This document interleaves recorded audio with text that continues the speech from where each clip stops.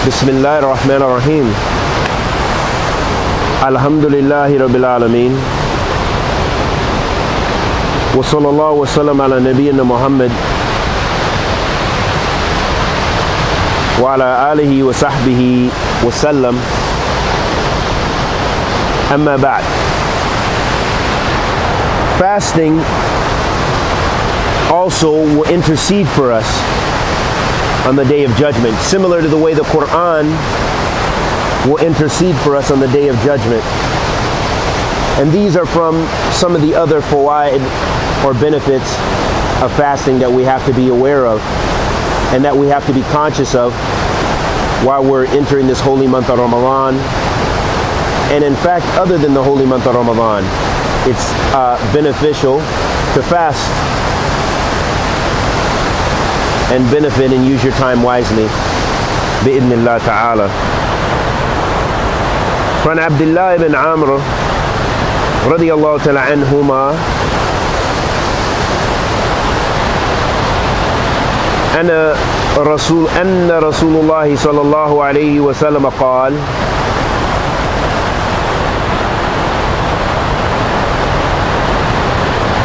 الصوم والقرآن يشفعان للعبد يقول الصوم أي ربي إني منعته الطعام والشهوات بالنهار فشفعني فيه.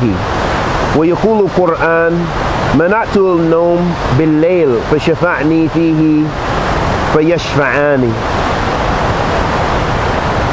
رواه أحمد وتبراني وحاكم. In this hadith of the Prophet sallallahu alaihi wasallam, there is immense benefit and it shows us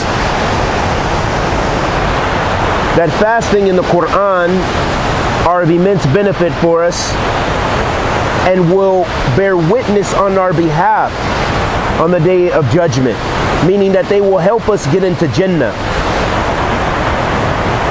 Abdullah bin Amr radiallahu ta'ala anhuma said that the Messenger of Allah sallallahu alayhi wasallam said, Fasting in the Quran will intercede for the slave. Fasting will say, Oh Lord, verily I prohibited him from food and his desires during the day. So allow me to intercede for, on his behalf. And the Quran will say, I prohibited him from sleeping during the night. For allow for me to intercede, for then they will both intercede.